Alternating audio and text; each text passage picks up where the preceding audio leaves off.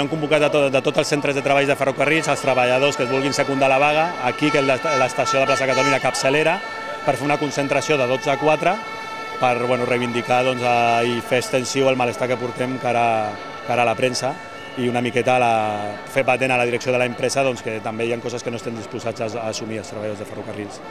Creiem que hi ha un abús patent sobre la seva, sobre la seva aplicació de trucar-los hores abans de canviar torn, eh, modificacions substancials del contingut de treball, i tot això és un degoteig que dia a dia ha anat afectant els, els treballadors.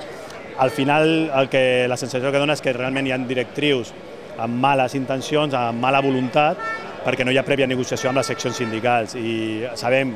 que la situació que patim, sabem que hi ha coses que venen de l'administració de la Generalitat, però el que no podem admetre és que les pròpies de la direcció de l'empresa eh, siguin tan,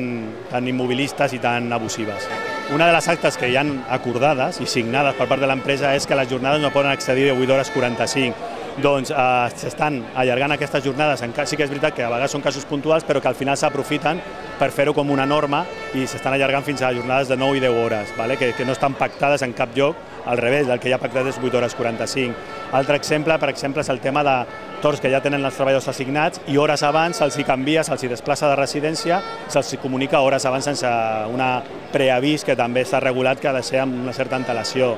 Eh, en jornades parcials de 4 o 5 hores que acaben enganxant dos torns parcials per fer-ho un d'únic, amb la qual cosa també excedeix que la persona hagi estat 10-11 hores a la,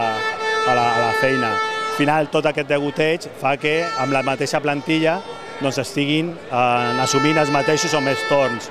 També el que, el que també ha denotat és que, per exemple, que per això hi ha altres convocatòries, altres dies de vaga, és que eh, l'empresa per norma està considerant, començant a considerar festius locals i nacionals com a laborables, amb la qual cosa té a, a disponibilitat a tots, a tots els treballadors perquè estiguin pendents de treballar aquells dies que eren considerats festius doncs de forma a disponibilitat total de l'empresa, cosa que tampoc s'havia fet amb anterioritat. De les convocatòries d'aturades era pel dia d'avui, pel 11 de setembre i el 24 de setembre, perquè un dels molts motius per convocar les aturades, aquest canvi de forma de fer de l'empresa, és precisament perquè els festius locals i nacionals els han deixat de considerar com a festius i, ten, i llavors el que fa és que la gent estigui disponible per treballar aquell dia, que es preveu un passatge important, però sense les condicions de festivitat que tenim regulades en conveni i en actes d'acords, la qual cosa converteix un festiu en un laborable amb la que l'empresa doncs, es vol estalviar diners però a costa del treballador.